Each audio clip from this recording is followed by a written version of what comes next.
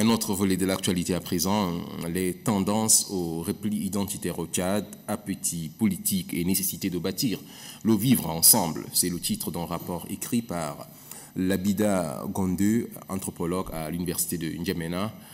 Le dit rapport a été présenté au centre Almouna par le comité de suivi euh, de l'appel à la paix et à la réconciliation. Varelaj. Ce rapport, qui comporte plus de 60 pages, s'articule sur trois bases, soutient l'auteur Labida Gondé. Il s'agit notamment de la problématique nord-sud, religieuse et ethnique.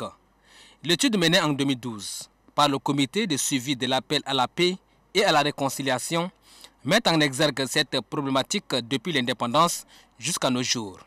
Depuis que le Tchad existe, ce n'est pas exagéré, on voit ce problème-là et les lire dans cette dynamique temporelle et spatiale pour comprendre où est le fond du problème du vivre ensemble aujourd'hui au Tchad.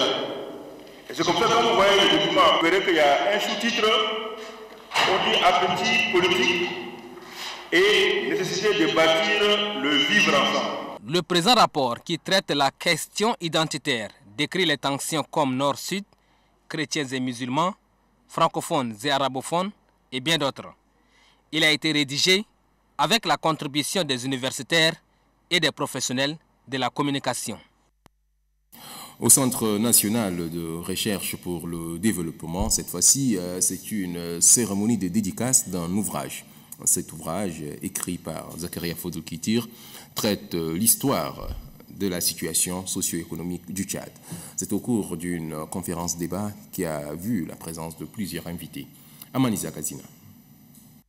À travers cet ouvrage intitulé Violence et événements au Tchad, l'auteur présente le milieu physique et social du Tchad, les acteurs qui ont commis des violences et événements, le règne des anciens chefs d'État et l'évaluation de la situation sociopolitique du Tchad.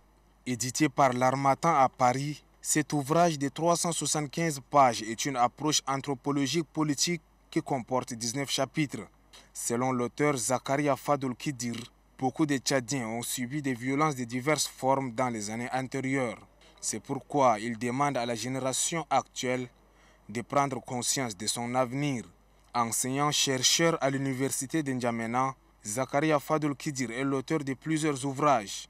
Il s'agit de Loin de moi-même, Les moments difficiles, Le chef, le forgeron et le faki et la vie de Kauri en attente d'édition à Dakar. Abéché, chef-lieu de la région du Wadaï, euh, l'Office national pour la promotion de l'emploi, à travers son bureau pour la promotion de l'emploi, lance une série de formations à l'intention des détenus de la maison d'arrêt.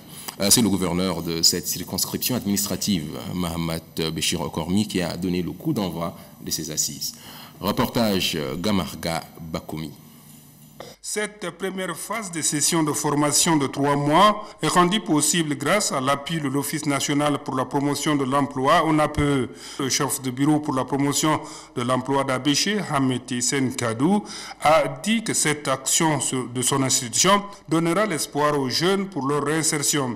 La représentante du directeur de l'ONAPE, Madame Isa Bancham, a indiqué que l'impossibilité pour un jeune de trouver un emploi crée un sentiment de fragilité. C'est pourquoi elle dit qu'il était urgent d'offrir une seconde chance à ce jeune en leur donnant la possibilité d'accéder à une qualification.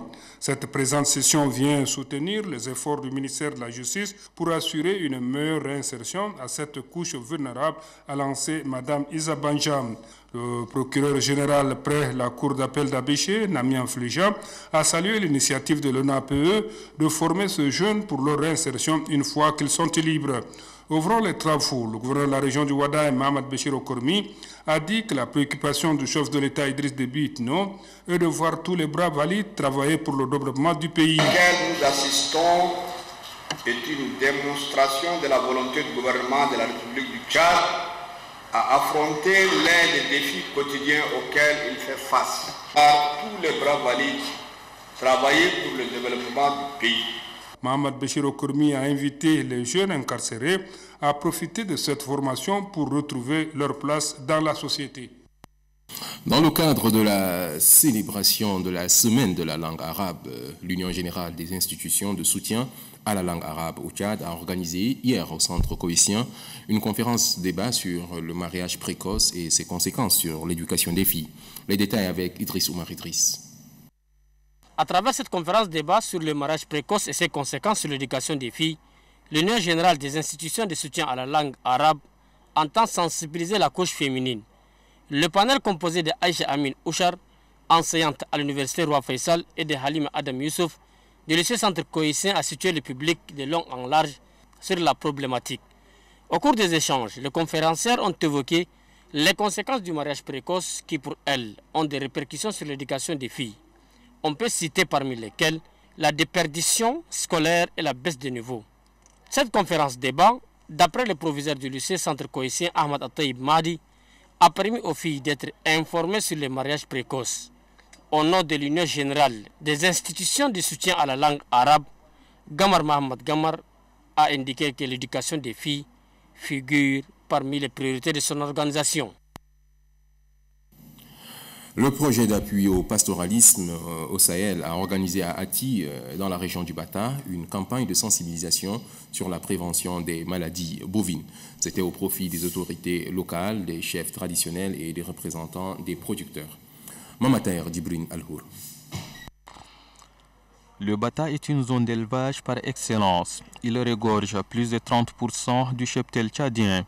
Malheureusement, cette richesse fait face chaque année à de multiples maladies animales, notamment la péripneumonie contagieuse et la peste des petits ruminants. Cette rencontre organisée par le projet régional d'appui au pastoralisme au Sahel, PRAPS, s'inscrit dans le cadre de la lutte contre ces maladies. Les autorités administratives, les chefs traditionnels et les responsables des organisations des éleveurs sont outillés sur les moyens de prévention. Pour les délégués régionaux de développement rural du Bata, Youssouf Hamis Arami, la vaccination reste le seul moyen efficace pour protéger les bétails et pour garantir la réussite de la prochaine campagne de vaccination dont le lancement est prévu pour la semaine prochaine, le chef de mission de PRAPS, Youssouf Ali Turkode, sollicite l'implication des autorités traditionnelles.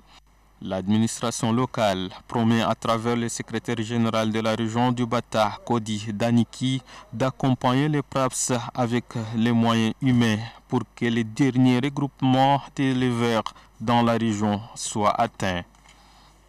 Le maire de la commune du 9e arrondissement, Mohamed Kerim Saleh, et ses proches collaborateurs ont visité des structures artisanales de production d'huile euh, du quartier Toukoura. Une visite d'inspection qui vise à prendre des mesures conservatoires. Christian Garlomdana.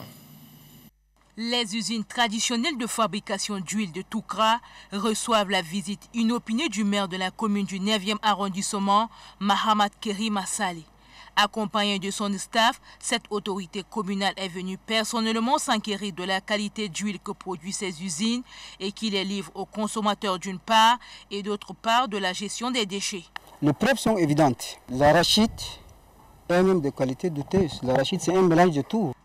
Pour éviter tout risque, le maire de la commune du 9e arrondissement est formel. La population du 9e est en train de consommer d'huile d'arachide de qualité douteuse qui est même à l'origine de certaines maladies, typhoïdes, cancer, tout ça. Je lance un appel au ministère de la Santé publique de venir s'investir, vérifier les qualités, jusqu'à ce que ces commerçants-là se conforment au règlement, aux notes taxes sur les matières consommables. Les premières autorités de cette commune sont l'alerte par rapport à la mauvaise qualité d'huile fabriquée de manière traditionnelle et ne respectant pas les conditions hygiéniques. Elles les appellent à se conformer sous peine de mesures drastiques. Les jeunes du parti RNDT Le Réveil de la région du Silla ont procédé au nettoyage de l'hôpital de Gosbeda, un geste qui s'inscrit dans le volet social de leurs objectifs. Ils ont également remis des savons aux malades. Ali Mamad Bello. Les jeunes du parti RNDT Le Réveil de la région du Silla posent des actions citoyennes à Gosbeda, chef-lieu de la région. Munis de pelles, râteaux et balais, ils ont nettoyé ce samedi des fonds en comble l'hôpital de Gosbeda. Dans le même cadre, les jeunes du parti RNDT Le Réveil de la région du Silla ont remis aux malades des boules de savon. Pour le secrétaire régional du parti, Mohamed Adam, ces gestes visent à rendre salubre l'hôpital pour donner au moins la force aux malades. Le lycée bilingue Abourisha de Gosbeda attire l'attention du parti RNDT Le Réveil à cause du manque d'eau. Les élèves en souffrent énormément. En attendant une solution durable, le parti RNDT Le Réveil de la région du Sila a remis à l'établissement des fûts d'eau.